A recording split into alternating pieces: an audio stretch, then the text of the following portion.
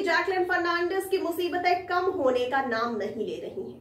अब उनके लिए नई मुसीबतें सामने आ रही हैं। दिल्ली के तिहाड़ जेल से 200 करोड़ वसूलने वाले मामले में रोज़ाना नए नए खुलासे हो रहे हैं। कोई ना कोई नया कनेक्शन सामने आ ही रहा है। अधिकतर कनेक्शन बॉलीवुड के सामने आ रहे हैं। अब इस केस में प्रवर्तन निदेशालय यानी ईडी ने अपनी चार्जशीट दाखिल की है। यह चार्जशीट मनी लॉन्ड्रिंग के तहत दाखिल की गई है। ईडी ने अपनी चार्जशीट में ठग सुकेश चंद्रशेखर को लेकर कई बड़े चौंकाने वाले खुलासे किए हैं। रिपोर्ट के मुताबिक ईडी ने अपने आरोप पत्रों में जैकलिन फर्नांडिस और नोरा फतेही का भी ज़िक्र किया है। इस रिपोर्ट के मुताबिक सुकेश चंद्रशेखर और जैकलिन फर्नांडिस ने 2021 जनवरी के महीने में एक दूसरे से बात करना शुरू किया था।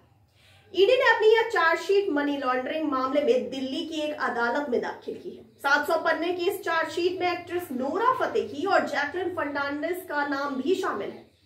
ईडी द्वारा दाखिल की गई इस चार्जशीट के अनुसार सुकेश ने जैकलिन को करीब 10 करोड़ के गिफ्ट दिए थे, जिसमें से एक बीएमडब्ल्यू कार, महँगे गहने, बावन लाख रुपए की एक कीमत का घोड़ा, एक आईफोन शामिल है।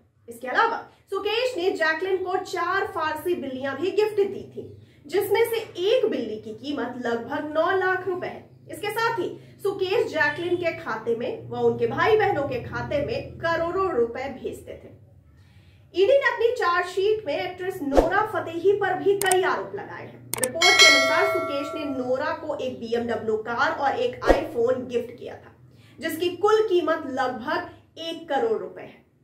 आपको बता दें कि सुकेश चंद्रशेखर जब जेल में था तो वो जैकलिन से मोबाइल फ़ोन पर बात करता था। जब सुकेश जमानत पर बाहर आया तो उसने चेन्नई के लिए चार्टेड फ़्लाइट बुक की।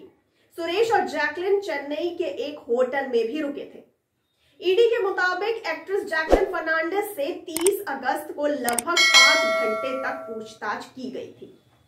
आपको जानकारी के लिए ये भी बताते चलें कि ईडी ने एक्ट्रेस के खिलाफ 200 करोड़ रुपए की जबरन वसूली के ठग सुकेश चंद्रशेखर से जुड़े मामले में लुकआउट सर्कुलर जारी किया है। सोर्स के मुताबिक लुकआउट सर्कुलर इस निर्देश के साथ जारी किया गया था कि जैकलिन फर्नांडिस को भारत छोड़ने की अनुमति नहीं दी जानी चाहिए। जैकलिन फर्नांडिस शाम को पाँच बज के पचास मिनट पर टर्मिनल टू के गेट नंबर तीन छोड़ रही थी। सोर्स के मुताबिक जैकलिन फर्नांडिस को मुंबई एयरपोर्ट पर इमिग्रेशन ऑफिसर द्वारा रोका गया था। जैकलिन फर्नांडिस को मस्कट के लिए रवाना होना था।